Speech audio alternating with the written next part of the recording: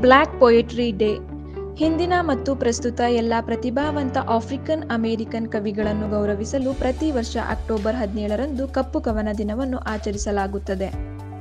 African American ಸಾಹಿತ್ಯದ ಪಿತಾಮಹ Jupiter Hammon United States of ಅಮೆರಿಕದಲ್ಲಿ ಪ್ರಕಟವಾದ ಮೊದಲ ಕಪ್ಪು ಕವಿ ಎಂದು ಜನಪ್ರಿಯವಾಗಿ ಕರೆಯಲ್ಪಡುವ ವ್ಯಕ್ತಿಯ ಜನ್ಮ ಸ್ಮರಣಾರ್ಥವಾಗಿ ಕಪ್ಪು ಕವನ ದಿನವನ್ನು ಆಚರಿಸಲಾಗುತ್ತದೆ. ಕಪ್ಪು ಕವಿತೆ ದಿನವು ಸಾಹಿತ್ಯಕ್ಕೆ ಕಪ್ಪು ಕವಿಗಳ ಕೊಡುಗೆಗಳನ್ನು ಗುರುತಿಸಲು ಮತ್ತು ಕವಿತೆಯಲ್ಲಿ ಪುನರಾವರ್ತಿತ ಕಪ್ಪು ಅನುಭವವನ್ನು ಆಚರಿಸಲು ಒಂದು ದಿನವಾಗಿದೆ.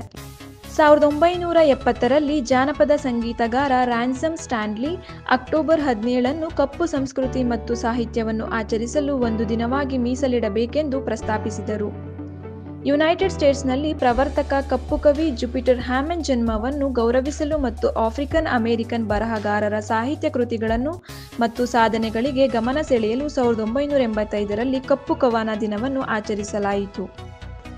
ಹ್ಯಾಮನ್ ಅಕ್ಟೋಬರ್ ಹದಿನೇಳು, ಸಾವಿರದ ಏಳುನೂರ ಹನ್ನೊಂದರಂದು ಲಾಂಗ್ ಐಲ್ಯಾಂಡ್ ಲಾಯ್ಡ್ ಮ್ಯಾನರ್ನಲ್ಲಿ ಗುಲಾಮಗಿರಿಯ ಸಮಯದಲ್ಲಿ ಜನಿಸಿದರು. ಅವರ ಮಾಸ್ಟರ್ಸ್ ದಿ ಲಾಯ್ಡ್ಸ್ ವಿದೇಶಿ ಭಾಗಗಳಲ್ಲಿ ಸುವಾರ್ತೆಯ ಪ್ರಚಾರಕ್ಕಾಗಿ ಆಂಗ್ಲಿಕನ್ ಚರ್ಚ್ ಸೊಸೈಟಿಯ ಮೂಲಕ ಕೆಲವು ಶಿಕ್ಷಣವನ್ನು ಪಡೆಯಲು ಅವಕಾಶ ಮಾಡಿಕೊಟ್ಟರು. ಹ್ಯಾಮನ್ ತನ್ನಂತಹ ಇತರ ಕಪ್ಪು ಬರಹಗಾರರನ್ನು ಬೆಂಬಲಿಸುವ ಮತ್ತು ಪ್ರೋತ್ಸಾಹಿಸುವ ಅಗತ್ಯವನ್ನು ಗುರುತಿಸಿದನು. ವಿಶೇಷವಾಗಿ ಕಪ್ಪು ಬರಹಗಾರರು ತಮ್ಮ ಬಿಳಿಯ ಪ್ರತಿರೂಪಗಳು ನೀಡಿದ ಬೆಂಬಲವನ್ನು ಅಪರೂಪವಾಗಿ ಸ್ವೀಕರಿಸಿದ ಸಮಯದಲ್ಲಿ ಇಂದು ಸಾವಿರಾರು ಪ್ರತಿಭಾನ್ವಿತ ಕಪ್ಪು ಕವಿಗಳು ಹಂಚಿಕೊಂಡ ಕಪ್ಪು ಅನುಭವ ಮತ್ತು ತಮ್ಮದೇ ಆದ ವಿಶಿಷ್ಟ ಅನುಭವಗಳನ್ನು ಬರೆಯುವ ಕವನ, ರಾಪ್ ಮತ್ತು ಮಾತನಾಡುವ ಕವನ ಸೇರಿದಂತೆ ವಿವಿಧ ರೂಪಗಳ ಮೂಲಕ ಬರೆಯುತ್ತಿದ್ದಾರೆ. ಯುನೈಟೆಡ್ ಸ್ಟೇಟ್ಸ್ನಾದ್ಯಂತ ಕಪ್ಪು ಕವನ ದಿನವನ್ನು ಆಚರಿಸಲಾಗುತ್ತದೆ. ಓರೆಗಾನ್ ಮಾತ್ರ ಅದನ್ನು ರಾಜ್ಯ ರಜಾದಿನವೆಂದು ಗೊತ್ತುಪಡಿಸುತ್ತದೆ.